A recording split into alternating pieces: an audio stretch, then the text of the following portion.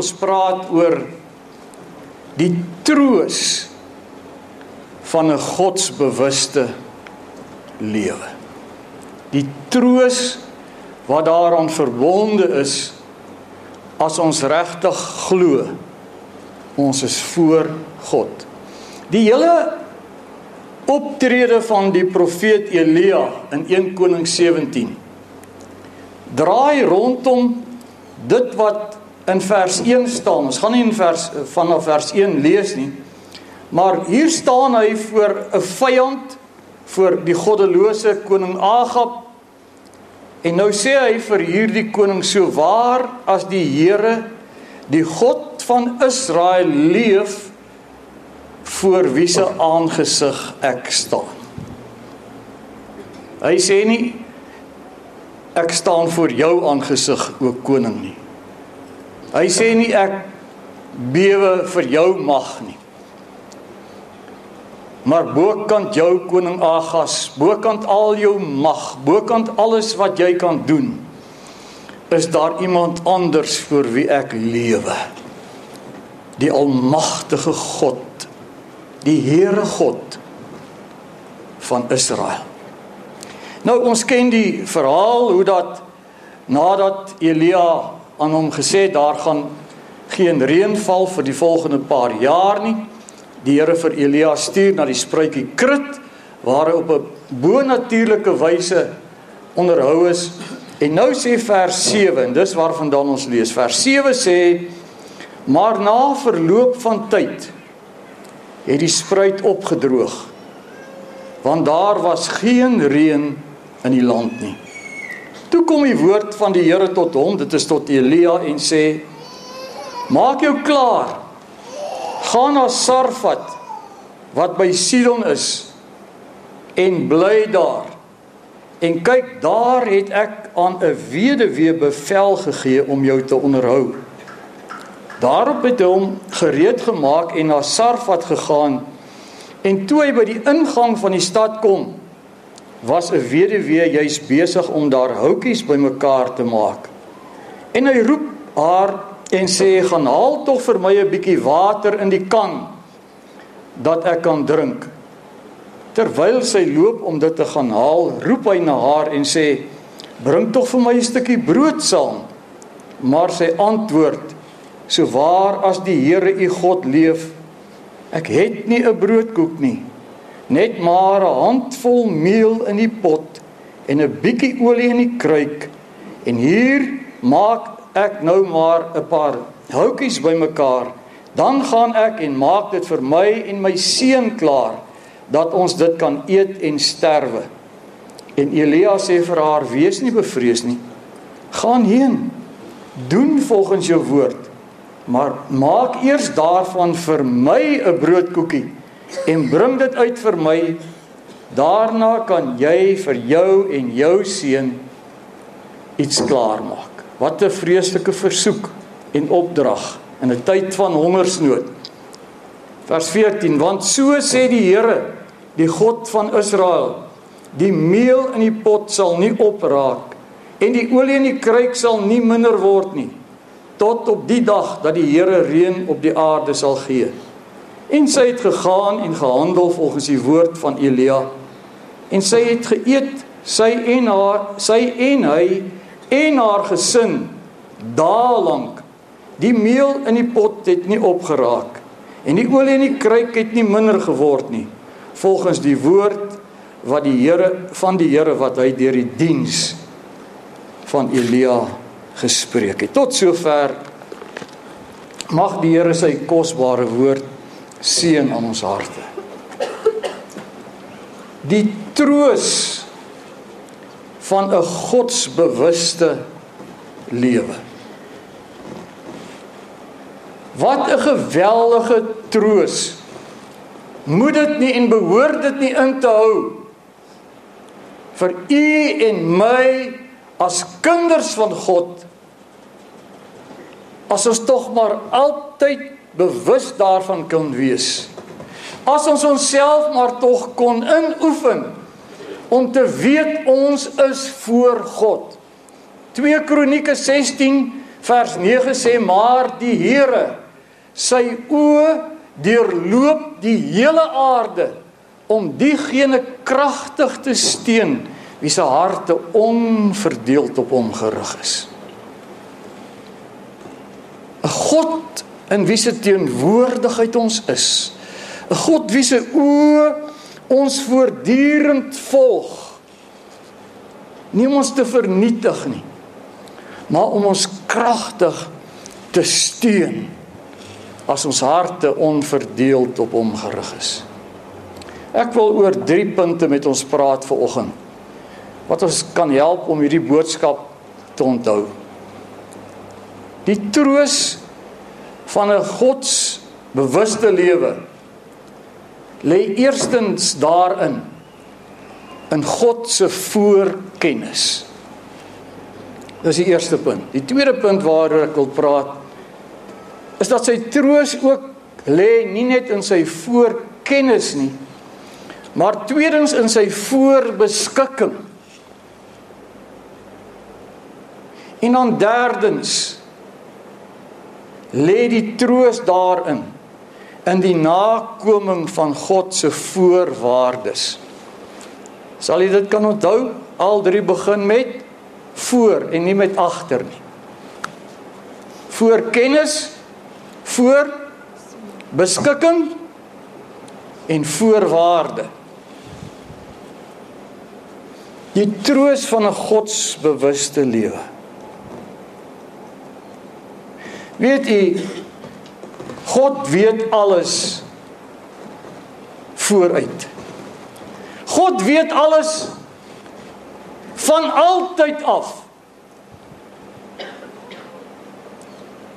Die Here het geweet dat die spruitkrit gaan opdroog.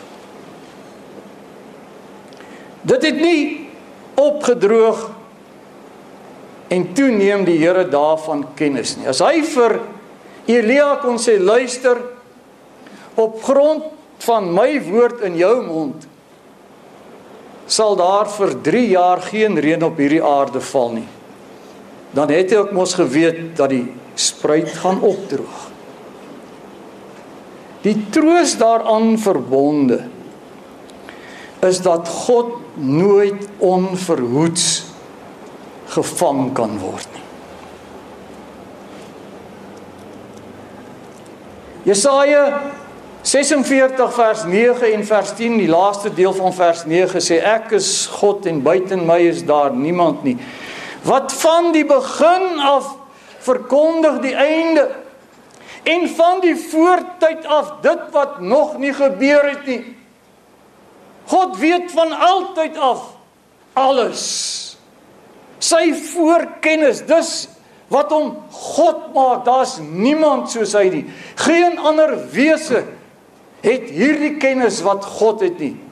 Van alle ewigheid af weet hy.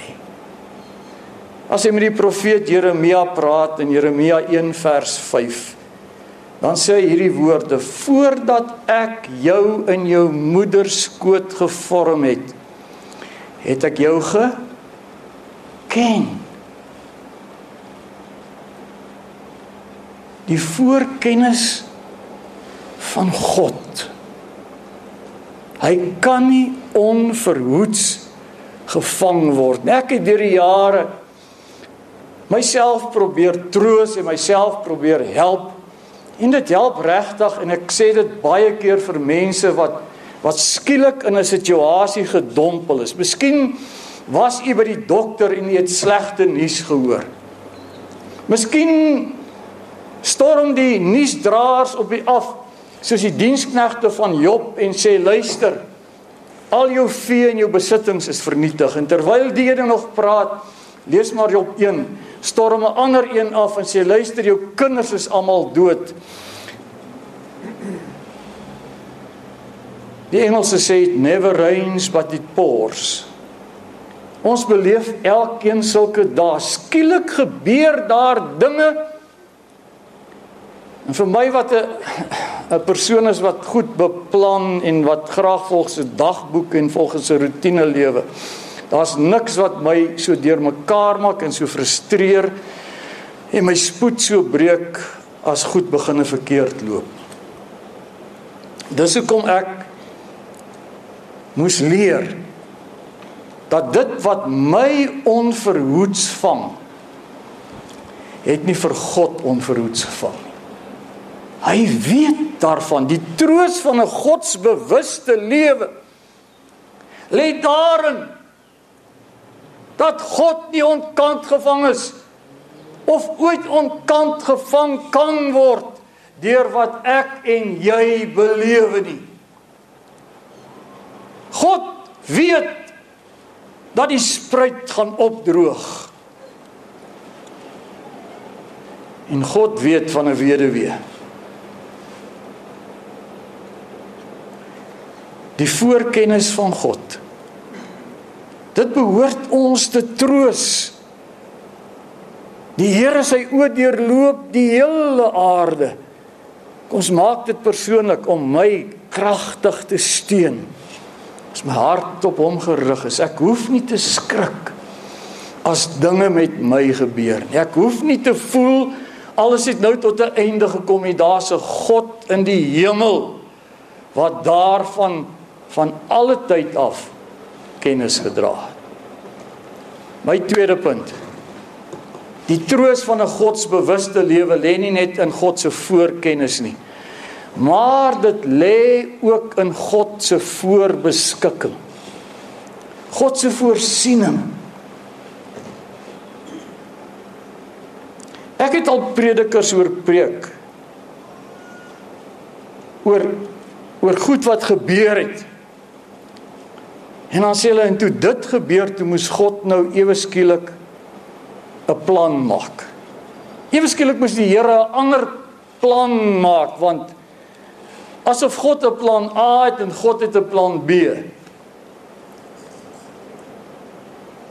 Ek wil net vanmôre sê God het nie 'n plan A nie en hy het ook nie 'n plan B nie. Daai selfde gedeelte in Jesaja 46 vers 9 en vers 10, die laaste deel van vers 10 sê: "My raad sal bestaan." Ons het planne. God se raad bestaan. Toe daai spruitjie opdroog, was dit nie asof die Here skielik geskrik het: "O aarde, hoe gaan ek nou vir my knegg Elia sorg?" Waar gaan ek nou vir hom uitkoms kry? Hoe gaan ek nou vir hom voorsien? Watter plan kan ek maak nie? Nee, toe die Here vir Elia sê luister. Die spruit het nou opgedroog.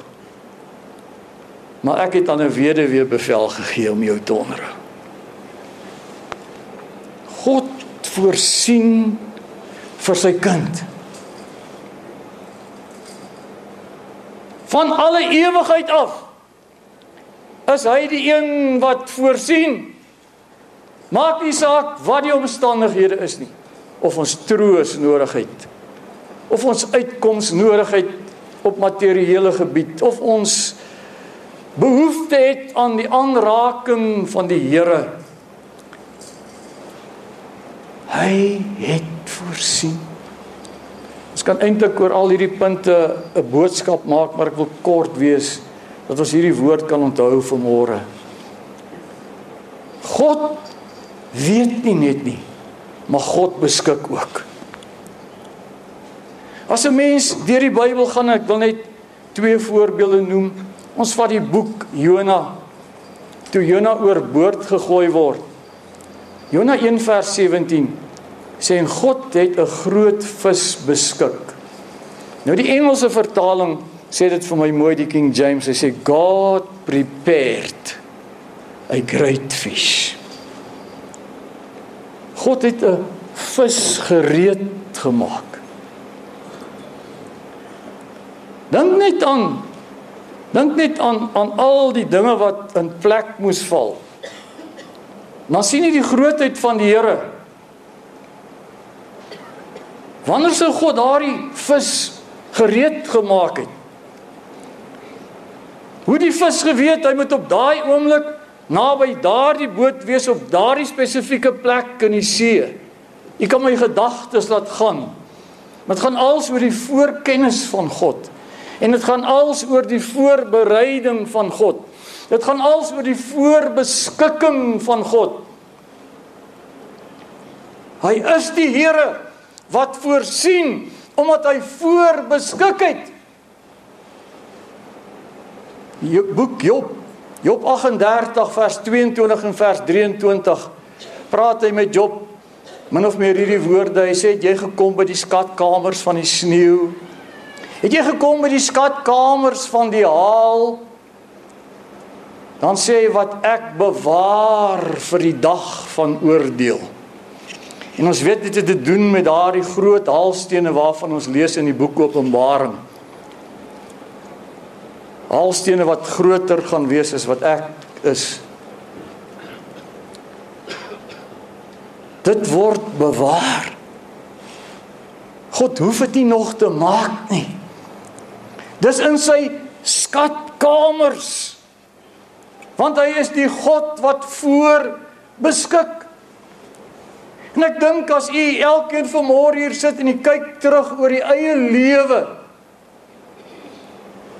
kan u die voorbeskikking van God raak sien in dinge wat gebeur het, dinge wat in plek geval het. As my eie lewe kyk, kan ek u baie lank besig hou oor hoe dat die Here jare en jare vooruit alreeds dinge in plek geval het, laat val het en en op daai oomblik wat ek dit nodig gehad het, het die dinge gebeur. Want ons God het nie net voorkennis nie, ons God is ook 'n voorbeskikker. In sy skatkamers het hy alreeds vir ons voorsien. Die troos van 'n godsbewuste lewe lê nie net daar dat God vooruit weet wat met my gaan gebeur nie. Dit lê nie net daarin dat die Here reeds vooruit voorsien het nie. Maar daar is ook 'n goddelike voorwaarde. Die seën van die Here lê in die nakoming van sy voorwaardes. Hierdie weduwee waarvan ons gelees het.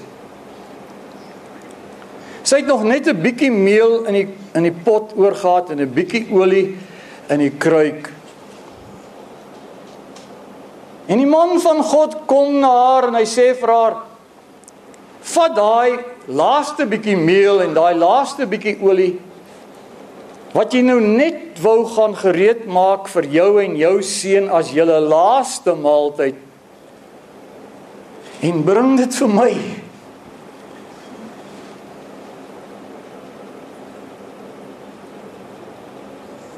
Ons lees nie dat sy teëgestribbel het nie. Sy het gegaan en gedoen wat die man van God vir haar gesê het. Die Bybel sê en die olie in die kruik en die meel in die pot het nie opgeraak nie. Nou as 'n mens dit nou maar net so lees, Dan sê ons wat 'n wonderwerk. Maar weet jy as 'n mens na Levitikus 2 toe gaan, dan het sy eintlik 'n vrywillige offer gebring aan die Here. In Levitikus 2 vanaf vers 1 lees ons van die spysoffer wat bestaan het uit fyn meel en olie. En dis dit moes op die altaar verbrand word met reukwerk daarbey as 'n lieflike geur aan die Here. Nou die die weduwee het gebly in 'n plekie met die naam van Sarfat. Weet jy wat beteken Sarfat? Smeltoond smeltoond, 'n plek van vuur. En die spysoffer waarvan 'n mens lees in Levitikus 2 is eerstens 'n vrywillige liefdesgawe wat jy aan iemand gee wat hoër is as jouself. En die priesters In die Ou Testament kon kon eet van wat oorgebly het, maar jy as die persoon wat dit gegee het, kon niks daarvan neem nie. Jy het alles gegee, die hele maaltyd. Maar jy het dit gedoen nie onder dwang nie. Nie omdat jy afgepers is nie. Maar jy het dit gedoen omdat jy God liefhet. En weet jy, hierdie hierdie meel is iets leweloos. In in al die ander offers word lewende diere gebruik en hulle word dan doodgemaak en geoffer. Maar die meel in sigself is lewenloos. Dit dit dui daarop dat dit dinge is wat ons nodig het om te bestaan, soos brood. Voedsel en klere wat ons nodig het om van te lewe. Dat ons dit aan die Here teruggee en sê Here, ek is van my lewe afhanklik nie van hierdie stukkie brood nie. Ek is afhanklik van U. Deur hierdie liefdesoffer, deur hierdie oorgawe wat ek maak, erken ek dat nie die brood, die meel of die olie my lewe my lewe uh, lewe verseker nie. Maar ek sê daardeur vir u ek is van u afhanklik. Dit, dit laat my dink en ek preek nie vanmôre oor geld nie. Inteendeel ons preek letterlik nooit oor geld nie in hierdie gemeente nie. Maar dit laat my dink aan die weduwee van Lukas, weer eens 'n weduwee. Net vir interessantheid ek dink daar is 9 weduwees waarvan die Bybel praat. Die weduwee van Sarfat was die 5de weduwee. 5 spreek van genade. Hierdie weduwee waarvan ons lees in Lukas 21 vers 4 gaan lees dit maar. Toe sy by die skatkis kom, sê die Bybel, het sy 'n oortjie ingegooi. Dis so klein geldstukkie. Dis niks in vergelyking met wat die ryk mense ingegooi het, maar die Bybel sê sy het alles ingegooi wat sy gehad het om van te lewe. Wat het sy daardeur vir God gesê? Here, ek wie kan van 'n oortjie lewe? So ek gee die bietjie wat ek het vir u. U is die een wat vir my sorg. U is die een wat vir my onderneem. En dis wat die weduwee van Sarfa doen. Sy bring 'n spysoffer. Sy erken my middele is nie in staat om my aan die lewe te hou nie. Maar daar's 'n God in die hemel wat vir my kan sorg. En my broeder en suster, daarom vertel die Here Jesus in Matteus 6 vir ons hier vanaf vers 19. As jy dit gaan lees, moenie vir julle skatte bymekaar maak op die aarde ensovoorts ensovoorts. Dan kom hy daar en hy sê let op die lelies van die veld, let op die voëls van die hemel. Dan kom hy by vers 32, dan sê hy moenie moenie sê wat sal ons eet en wat sal ons drink en wat sal ons aantrek nie. Vers 33 sê maar soek eers die koninkryk van God en sy geregtigheid en al hierdie dinge. En wat sê die konteks? Sal ek verkeerd wees as ek daar woorde byvoeg wat sê al hierdie dinge wat jy nodig het om van te lewe sal die Here vir jou byvoeg.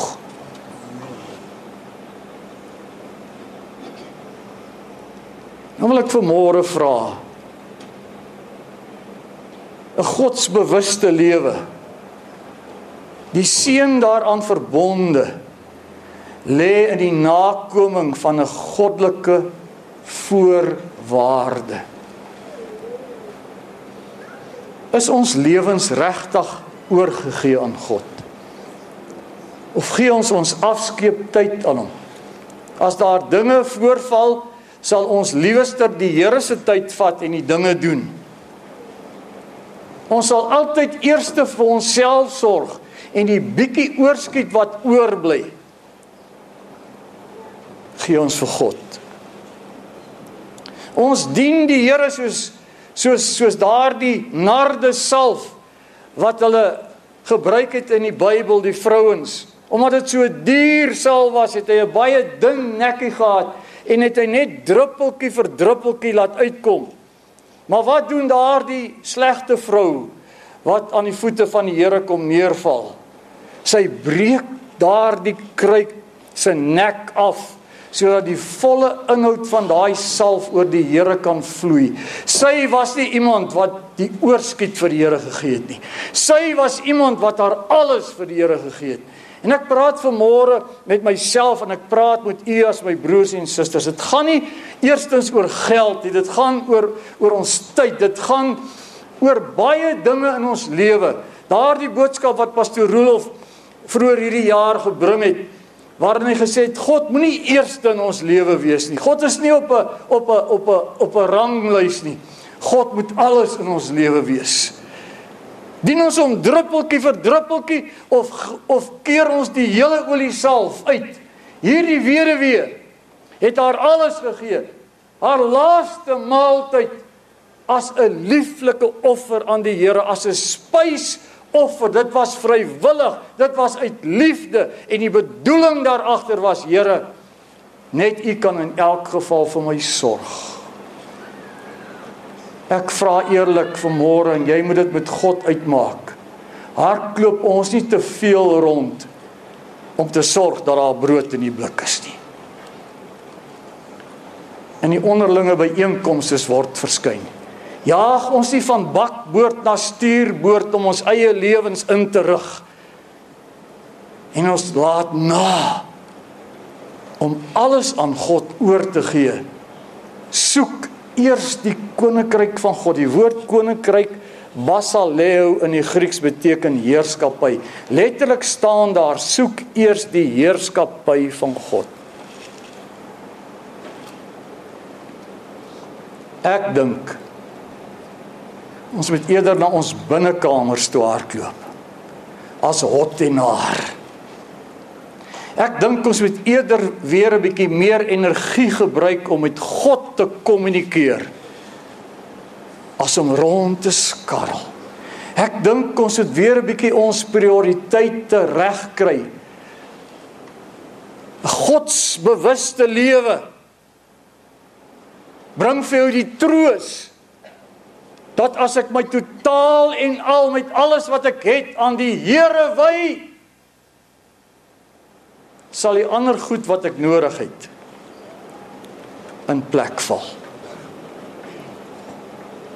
Ek sluit my boodskap af. Want as ek hier stop gaan dit eintlik maar net oor jou en my. Die kruks van my boodskap lê hier in my slot.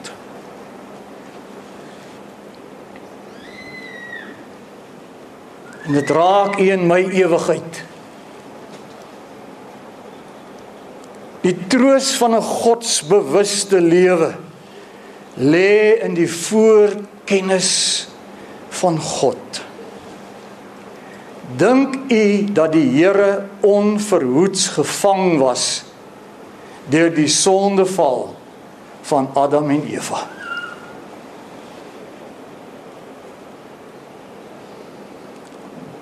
Dit het ek al gehoor van kansels af. Dat God Adam en Eva gemaak het en dit was vir hom 'n geweldige skok toe Adam en Eva in sonde val en toe moes die Here rondskarrel na alle kante toe om 'n plan te beraam om dit wat in die tuin van Eden gebeur het te te werk. Dan sou hy nie God wees nie. Luister die Bybel sê in 1 Petrus 1 vers 20 dat Jesus Christus is vooruit geken as die lam, die offerlam van God voor die voor die grondlegging van die aarde. Nog voordat God geskep het, nog voordat hy die mens gemaak het, nog voordat daar enige iets was behalwe die drie eenheid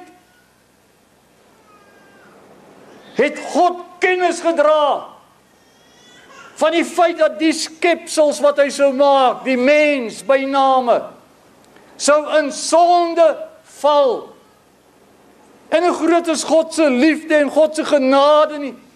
En God se kennis van homself. Dat al sou 'n mens hoe diep val, hy wat God is in staat sou wees om daardie mens te red. Daarom het hy nogtans geskep. Sy voorkennis. Hy het geweet Weet jy dis vir my 'n troos baie dae as ek as pastoor die Here te leer stel. As ek ook sonde doen, as ek ook struikel en ek so sleg daaroor voel en ek berou daaroor het, was dit vir my 'n geweldige troos. Jare gelede toe ek nog 'n student was, een van die dosente of een van die medestudente hierdie waarheid die saad daarvan in my hart kom strooi. Hy het gesê die dag toe die Here jou gered het, het hy jou gered ten spyte van die feit dat hy geweet het hoe jy hom nog gaan teleurstel. Hoeveel sonde jy nog gaan doen. Hoeveel keer jy nog gaan struikel en weet jy wat, hy het jou nogtans gered. Die voorkennis van God. God het geweet Maar soos in die geval van Elia het God ook voorbeskik. Nog voor die skepping nog voor die sonneval plaasgevind het was daar al reeds 'n offerlam. Want die Bybel sê Jesus is geken 1 Petrus 1 vers 20 Voor die grondlegging van die wêreld is hy al geken as die lam van God. Daar was 'n kruis in God se hart voor die skepping. Nie net het hy geweet wat sou gebeur nie, maar reeds was die voorsiening daar. Reeds was die voorbeskikking daar.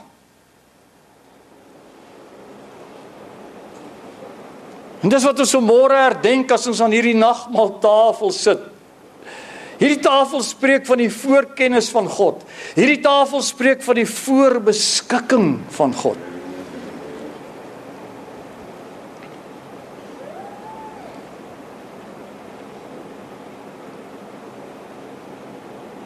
Die voorwaarde. Jesaja 6 dink as jy by vers 7 en 8 rond wie sal ek stuur en wie sal vir ons gaan? As jy Hebreërs 10 gaan lees Hebreërs 10 hier van vers 5 af dan is die drie eenheid voor die skepping in 'n gesprek met mekaar. En en dis die vraag wat gevra is wie sal ek stuur en wie sal vir ons gaan? Dan lees jy in daardie gedeelte toe sê ek hier is ek. Stuur my U het vir my 'n liggaam berei. Die gehoorsaamheid van Christus. En soos daardie weduwee het hy alles gegee wat hy gehad het. Dis hoekom Efesiërs 5 vers 2 vir ons sê, die laaste gedeelte van daardie vers sê Christus het homself gegee as 'n gawe en as 'n offer aan God as 'n lieflike geur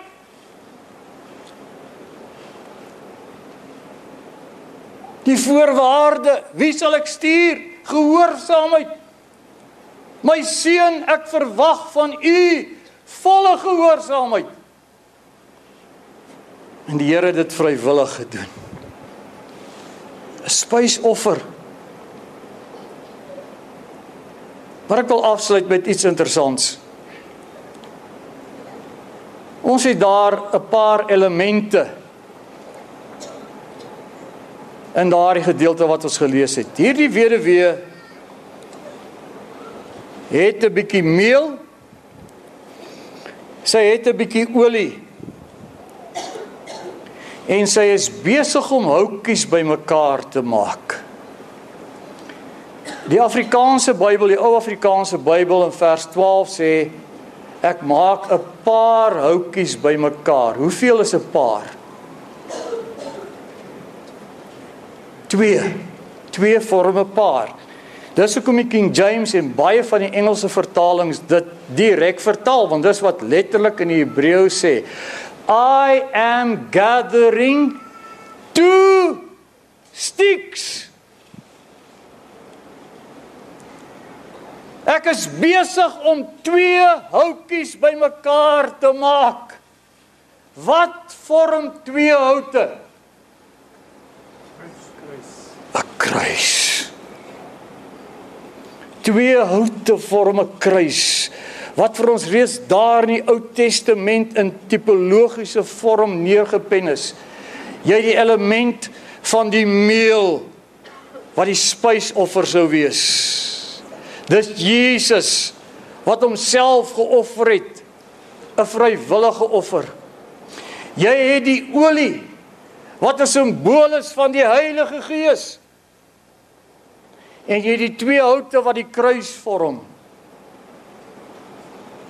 En dan kom Hebreërs 9 vers 14 in werking wat sê hy het homself deur die Gees geoffer. Dan kom Efesiërs 5:2 in werking wat sê hy het homself as 'n offer en as 'n gawe aan God gegee as 'n lieflike geur. En vanmôre my broeder en suster, wil ek vir u sê dit wat met Elia gebeur het die beskerming, die voorsiening, die seëninge wat Elia geniet het, het hy nie gekry oor iets wat hy gedoen het nie.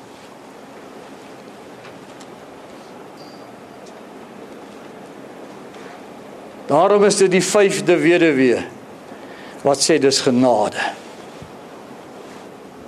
Daarom maak sy twee stokkies bymekaar wat sê dis as gevolg van die kruis. En 'n godsbewuste lewe behoort jou en my te troos. Want hoeveel keer het ek al op my knieë gegaan en gesê, Here, wat U nou moet doen is om my van die aarde af te verdelg.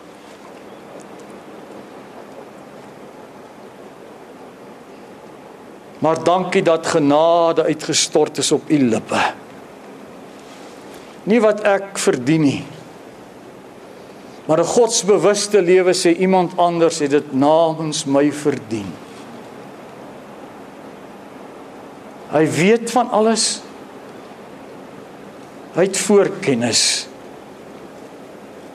Hy het voorbeskikking en sy voorwaarde is my oorgawe. Hier is ek, Here.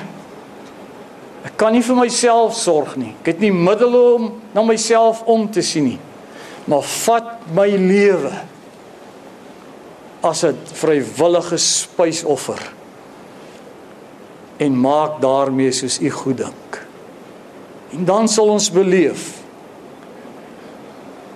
hoe dat ons in sy teenwoordigheid gehelp word, getroos word.